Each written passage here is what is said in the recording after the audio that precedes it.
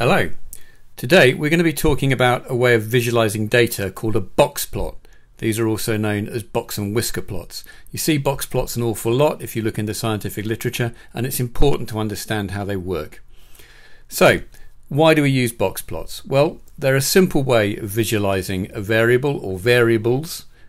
They convey a great deal of information. You can put a lot of stuff in a box plot and it can tell you a great deal about what's going on in your data set. And then they're very useful for making comparisons between groups, if you have groups of data within a variable, or for making comparisons between variables. So let's, let's start off by just quickly revisiting some of the basic fundamentals of the way we describe frequency distributions and data sets. So let's quickly look at a frequency distribution. This distribution here is uh, the annual population growth per country for almost all of the countries in the world from 2014. These are data published by the World Bank. And you can look at that frequency distribution and you can see that it's, it's certainly at least approximately normally distributed. It's roughly bell shaped. It's symmetrical about the center. So how can we describe that frequency distribution? Well, first of all, it has a central tendency. There is a, a center of the frequency distribution, and we can give a location for that central tendency. And that location can be given either as a mean, as a median, or a mode, one of the three M's that we use to describe the middle of, an, of a symmetrical data set. So there's a central tendency, and then there's some kind of spread or dispersion around that central tendency. So a symmetrical distribution of data can be wide or it can be narrow, and we can describe that de that degree of spread using something like the standard deviation, sometimes the variance, or alternatively you might use the interquartile range. And the interquartile range you might know is more suitable when you have asymmetrical data sets than when you have symmetrical data sets. So that's our data set, the frequency distribution of annual population growth per country. Now let's have a look at what that data set looks like when we draw it as a box plot. So here's the box plot. First thing you can see is that it's been flipped on its side by comparison with the histogram we looked at in the first place. Not all box plots are drawn vertically. In fact, we're going to see quite a lot that aren't in just a minute, but this one is drawn vertically. And you can see there's a kind of box in the middle, there are bits sticking out, there are little circles at the top and bottom. It's a bit confusing if you've not met one of these before. So let's go through the components of our box plot one by one and I'll explain what they are. So first of all, there is this big thick black line in the middle in the middle of the box plot and that's sometimes called the hinge. And what the hinge indicates is the median of the data set. So it's telling us where the location of the center of the data set is. And in this case, you can see that it's around about one. Okay, so the middle value, if you took all of those numbers, ranked them from the smallest to the biggest and took the middle one, would be about 1. So the hinge shows us the median. Next we've got this box drawn around the median. This is called the box, hence box plot. And what this indicates is the interquartile range, or IQR. So if you took those ranked data and you divided them into four equally sized groups, the median would define the middle, and then the lower quartile defines the bottom of the interquartile range, and the upper quartile defines the top of the interquartile range. So overall, the interquartile range contains the middle 50% of the data.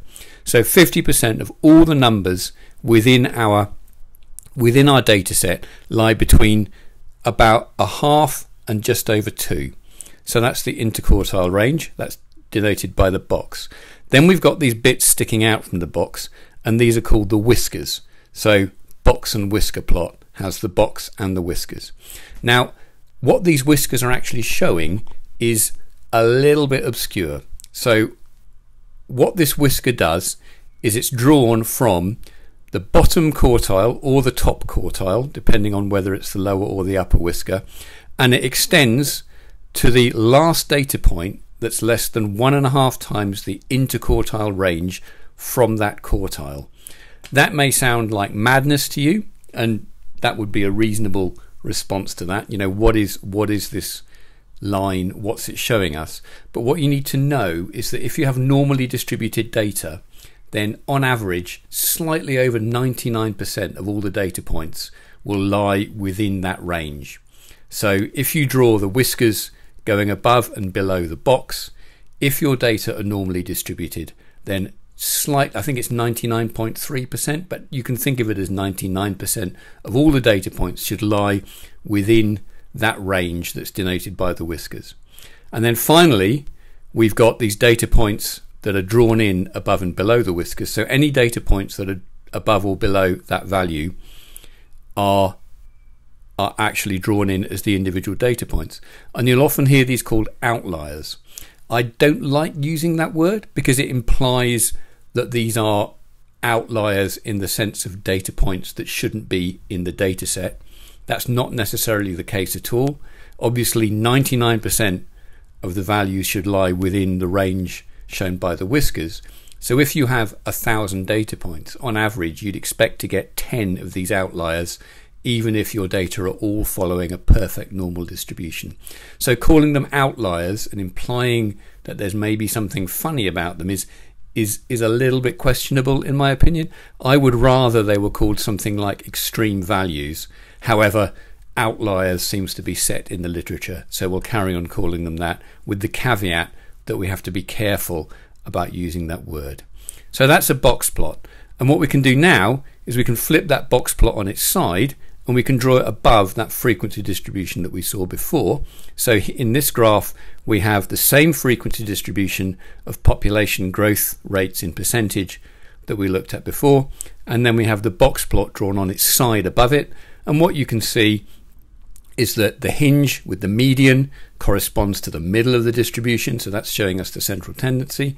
You can see that the box corresponds to the main chunk of the data in the middle of that normal distribution you can see that the whiskers encompass almost all of the values in the data set. And then you can see that the outliers correspond to the, the data points that are showing up as individual data points at the extreme ends of our normal distribution. So that's a basic introduction to a box plot. So why do we use box plots? Well, one thing you can do with a box plot is you can get an indication of what the shape of the frequency distribution is. So far, we've been looking at, an, at a roughly symmetrical frequency distribution, and you've seen that the box plot looks roughly symmetrical. What happens when we use a, a, when we use a frequency distribution that's not symmetrical? So here we have some data from a paper by Healy et al., and this is on lifespans in animals. And this particular data set here is the maximum lifespans from 125 species of artiodactyls. So artiodactyls are the even-hoofed ungulates. So things like giraffes, wildebeest, goats, all of these are artiodactyls. And each of the data points here is one species, and we have the maximum recorded lifespan for that species. And what you can see if you look at the frequency distribution drawn at the bottom is that these data are positively skewed. There is a long tail heading away from the zero value on the x-axis and heading up into the larger values. So there is some positive skew in these data and you can see that that positive skew is reflected in our box plot which once again I've drawn horizontally above it. So the box plot is asymmetrical in much the same way as the frequency distribution is.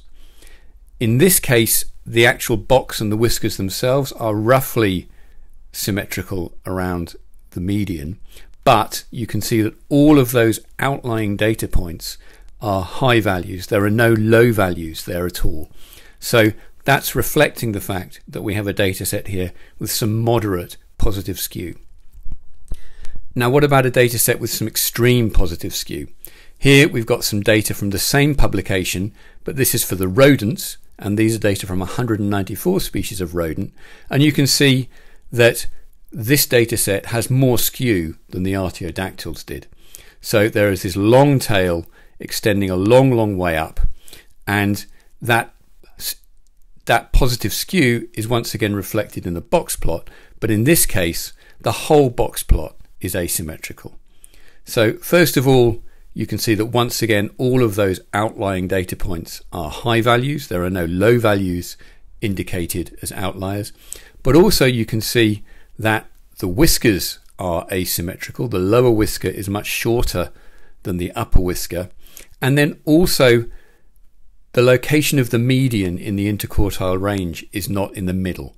So the lower quartile, or the, the second quartile, which is the bit from the median to the bottom of the box, is much narrower than the third quartile, which is the bit from the median to the upper end of the box. And again, that's reflecting the fact that these data are squished up towards the lower values, and then you have that long tail extending off towards the higher values. So the whole box plot is asymmetrical in this case. So you can you can look at a box plot and it can tell you things about the shape and the location of the data set you're looking at. And you might say to me, well, why are we bothering to do this when you can get that information and more from just looking at a frequency histogram? And the answer is that box plots really come into their own when you're plotting multiple variables or when you have a variable that's grouped and you want to make comparisons between the groups. So let's have a look at the kind of box plot that you might get if you have if you have grouped data and you want to compare between the groups. So these are more data from that Healy paper on maximum lifespan. This is for mammals and here the, mam- the lifespan of these mammals has been divided into those that are fossorial, where fossorial is a science word which means it lives in burrows and it's adapted for digging. So something like a mole rat um, or a mole would be a fossorial animal. Then we have semi-fossorial animals which spend some of their time in burrows and have some adaptation for digging, but not as much as the fossorial ones. And then we have non-fossorial animals which don't live in burrows. And we can compare between these groups in our maximum lifespan variable by using a box plot. First thing you can see looking at these data is, unsurprisingly, given what we've seen already, there's some positive skew. So all of these box plots are more or less asymmetrical. You could argue that the non-fossorial animals show a bit more skew than, than the others. Um, that's maybe a bit of a judgment call, but certainly they're showing the non-fossorial animals are showing a bit more skew than the fossorial ones. So you can compare the amount of skew between your groups, but you can also compare the location of your groups and ask questions like, well, which groups on average have the longer lifespans, which groups on average have the shorter lifespans. And you can see just by looking at this box plot that it's the non fossorial animals that tend to have the longer lifespans, or the, the longer maximum lifespans. They don't all have lifespans which are longer than the fossorial or the semi fossorial animals, but a good number of them do have.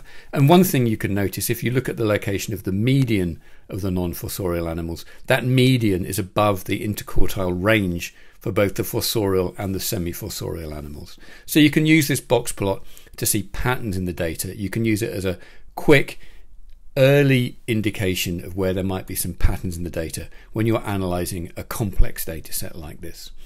So this is where box plots tend to get used more than anywhere else. Um, it's quite a pain drawing out a series of frequency histograms and comparing them, and often it's not as clear what's going on as if you're comparing box plots like this.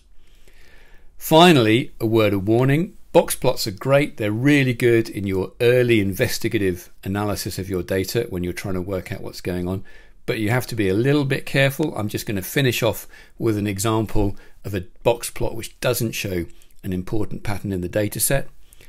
These data here are from a paper by, by myself and Kato Matsumoto. Um, these data are mandible lengths. In fact, they're log mandible lengths. I should have said that on the x-axis label there. Sorry. These data are log mandible lengths from a stag beetle called Odontolabis cuvera. These are all measurements from males. And what you can see looking at the frequency histogram is that there seem to be two peaks in that frequency distribution. So in other words, this is a bimodal distribution of data.